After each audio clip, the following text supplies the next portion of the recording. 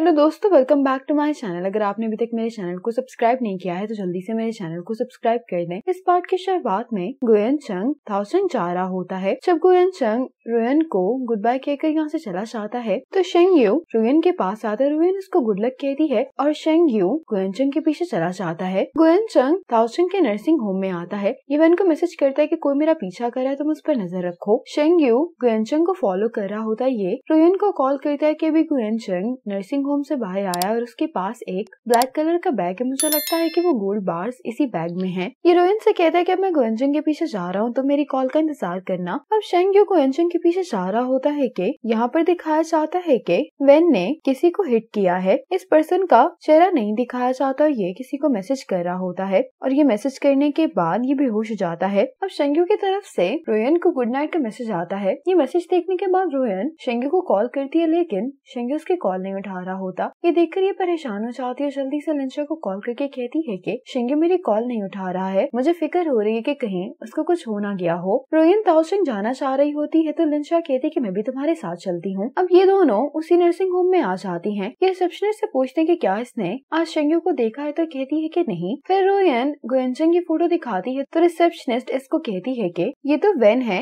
ये हर हफ़्ते अपनी मोम ऐसी मिलने के लिए आता है। लिंचा हैरान होते हुए कहती है कि क्या उसकी मोम यहाँ पर है? तो रिसेप्शनिस्ट बताती है कि उसकी मोम को डिमेंशिया है। अब ये दोनों गोयनचंग की मोम से मिलने के लिए आ जाती हैं। लिंचा कहती कि मैंने नहीं सोचा था कि गोयनचंग की बायोलॉजिकल मोम यहाँ पर होंगी। रोयन कहती कि मुझे लगता है कि चाओलन गोयनचंग की मोम का ही नाम है। अब रोयन गोयनचंग की मोम से कहती है कि मैं गोयनचंग की वाइफ हूँ। लिंचा कहती है कि क्या आप हमें अपने बेटे के बारे में कुछ बता सकती हैं? अपने बेटे का नाम सुनकर गोयनचंग की मोम की तबीयत खराब हो जाती है। कहने लगती है कि तुम डरो नहीं, मेरे पास पैसे हैं। रोयन कहती है कि आप परेशान नहीं हो? गोयनचंग बिल्कुल ठीक है, लेकिन ये कहने लगती है कि गोयनचंग गुम गया है। इनकी हालत देख कर रोयन कहती है कि मुझे नहीं लगता कि हमें इनसे गोयनचंग के बारे में कुछ मालूम हो सकता है। अब रोयन को शेंगू का मैसेज आता है कि आज रात हम साथ में डिनर करेंगे। एक ज़रूरी काम आ गया है तो मैं तुमसे बाद में बात करूँगा। लिंचा कहती कि मैंने तो तुम्हें पहले ही कहा था कि तुम ज़्यादा परेशान हो रही हो। अब ये दोनों सोचते हैं कि हम यहाँ पर आ ही गई हैं तो वो हिडन गोल्ड बार्स ढूँढने की कोशिश करते हैं। अब यहाँ पर लिंचा को एक फ़ोन मिलता है। इस फ़ोन में गोयनचंग की एक वीडियो होती है जिसमें पैसों के लिए कोई इसको टॉर्चर कर रहा होता है। ये वीडियो देख कर रोयन और लिंचा बहुत हैरान होती हैं। रोयन कहती है कि गोयनचंग ने मुझे अपने बचपन के ट्रॉमा के बारे में बताया था। गोयनचंग ने मुझे ये कहानी सुनाई थी कि उसके डैड उसको सजा देते थे, इसीलिए वो अभी भी ट्रॉमेटाइज हो जाता है। लेकिन मैंने नहीं सोचा था की हकीकत ये होगी। लिंचा कहती है की मुझे ओवरसीज स्कैम ऑर्गेनाइजेशन के बारे में मालूम है। वो इसी तरह से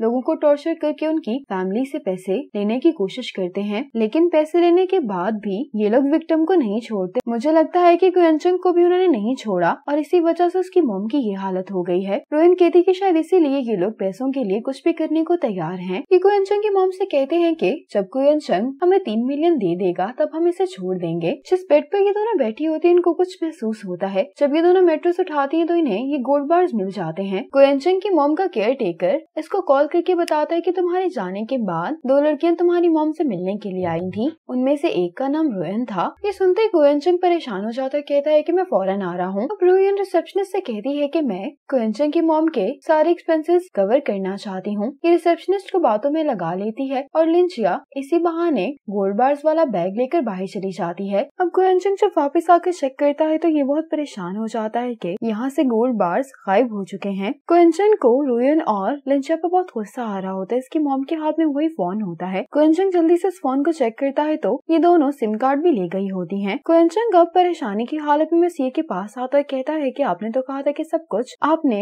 हैंडल कर लिया है तो फिर उन्हें मेरी मोम के बारे में कैसे पता चला? मेसी कहती है कि अगर शेंगू सब में शामिल हो गया है तो इसका मतलब है कि रोयन को भी ये बात मालूम हो गई है कि हमने उसकी प्रॉपर्टी ट्रांसफ़र कर ली है। मेसी कहती है की अब हमें इंतज़ार करने की ज़रूरत नहीं है, क्यूँकी कंपनी की लिस्टिंग वाली बात झूठ है। मेसी की बातों ऐसी क्वेंचन को अंदाज़ा हो गया होता है की अब इसकी मोम को कोई नुकसान पहुँचाने वाले हैं तो ये मेसी से रिक्वेस्ट करने लगता है कि प्लीज़ उन्हें कोई भी नुकसान नहीं पहुंचाइएगा। लेकिन मेसी इसकी बातों को इग्नोर करके यहाँ से चली जाती है। मेसी के यहाँ से जाने के बाद गुंचन को वो रिकॉर्डर मिल जाता है जो कि लिंजिया ने यहाँ पर छुपाया होता है। गुंचन के देखकर बहुत हैरान होता है कि रोयन कब से मेरी बातें सुन रही थी। ये रिकॉर्डिंग्स वेंचन सुन रही होती है। गुंचन कहता है कि रोयन और लिंजिया तुम्हें ये सब करने की कीमत चुकानी पड़ेगी। ये कहकर गुंचन ये रिकॉर्डर तोड़ देता है। अब लिंजिया रोयन को एक जगह पर लेकर आते कहती है की वो जगह जहाँ पर गुंचन रुका करता था। हो सकता है की यहाँ पर हमें कोई सबूत मिल जाए। रोयन को यहाँ पर फ़ोटो एल्बम मिलता है। इसमें गोयनचंग की फ़ोटोज़ होती हैं। रोयन कहती है कि तो इसका असली नाम सावन है। अब गोयनचंग ने यहाँ पर वेन को भेज दिया होता है।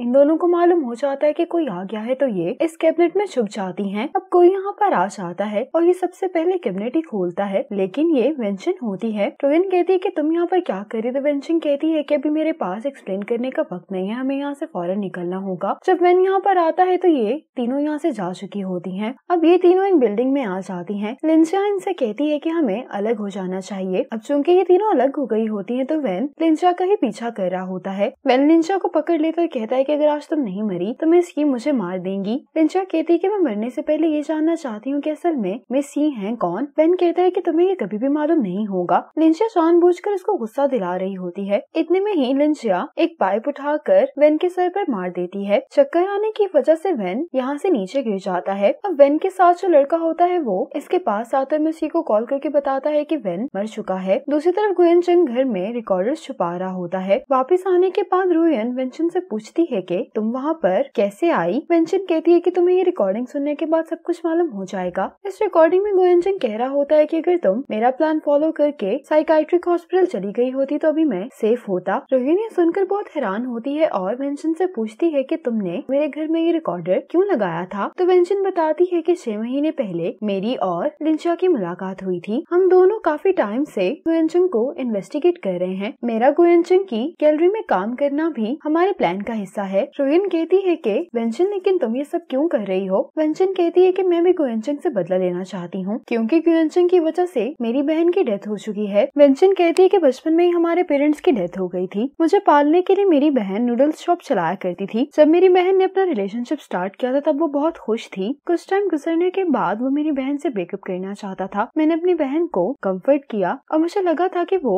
जल्दी मूव ऑन कर जाएगी। लेकिन मैं ये बात रियलाइज़ ही नहीं कर पाई कि मेरी बहन बहुत पेन में है। वेंशन कहती है कि मेरी बहन की डेथ के बाद कर्जा वसूल करने वाले लोग मेरे घर पर आए। जब मैंने अपनी बहन की डायरी पढ़ी तो तब मुझे सारी कहानी मालूम हो गई। अब दिखाया जाता है कि गोयन चंग वेंशन की बहन को कॉल करके कहता है कि मुझे इन्वेस्टमेंट के लिए मजीद पैसे चाहिए। वेंशन की बहन बहुत हैरान होते हुए कहती है कि तुम्हें मजीद पैसे क्यों चाहिए? तो गोयन चंग कहता है की इस वक्त इन्वेस्टमेंट मार्केट काफ़ी अच्छी चल रही है। इसलिए तो मैं तुम्हें क्रिप्टो में इन्वेस्ट करने के लिए कह रहा हूँ। अगर तुम मजीद टू हंड्रेड थाउज़ेंड इन्वेस्ट करोगी तो तुम्हें एक मिलियन का प्रॉफिट होगा। वेंशन की बहन कहती, लेकिन मेरे पास और पैसे नहीं है। एट हंड्रेड थाउज़ेंड जो मैंने तुम्हें दिए थे, वही मेरी अब तक की सारी सेविंग है। गोयनचंग वेंशन की बहन से कहता है कि अगर तुम्हारे पास पैसे नहीं है तो तुम ऑनलाइन लोन ले लो। तो वेंशन की बहन कहती है कि अगर नुकसान हो गया तो फिर मैं ये टू हंड्रेड थाउज़ेंड यौन वापस कैसे करूँगी? तो गोयनचंग कहता है की तुम मुझ पर भरोसा रखो। मैं तुम्हारा नुकसान नहीं होने दूँगा, लेकिन अगर तुम मुझ पर भरोसा नहीं करती तो फिर मुझे नहीं लगता कि एक दूसरे से बात करने का कोई भी फ़ायदा है। अब रोयन को मालूम हो जाता है कि वेंशिंग गुयनशिंग से बदला क्यों लेना चाहती है। इसी मोमेंट पर ये पार्ट खत्म हो जाता है।